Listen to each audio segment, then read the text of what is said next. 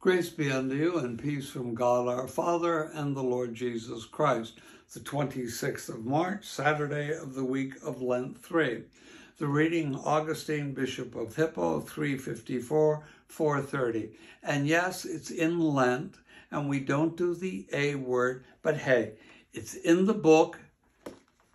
Augustine did it, so relax.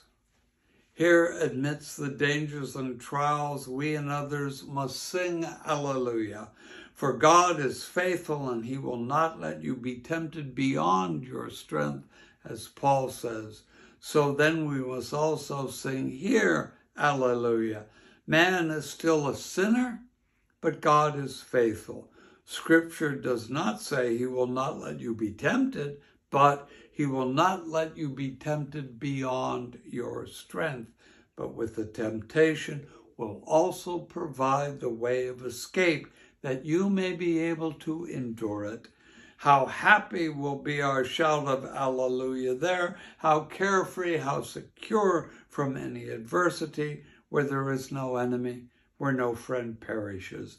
There praise is offered to God, and here too but here it is by men who are anxious, there by men who are free from care, here by men who must die, there by men who will live forever. Here praise is offered in hope, there by men who enjoy the reality, here by men who are pilgrims on the way, there by men who have reached their own country. So, brethren, let us now sing Alleluia, not in the enjoyment of heavenly rest, but to sweeten our toil. Sing as travelers, sing along the road, but keep on walking. Solace your toil by singing. Do not yield to idleness. Sing, but keep on walking.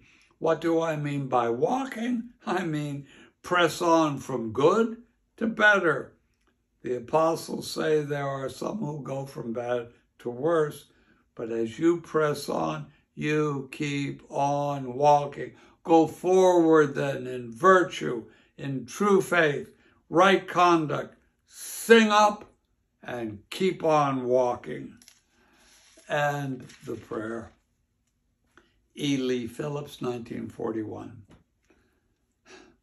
Let not the problems of this day overwhelm me, Lord.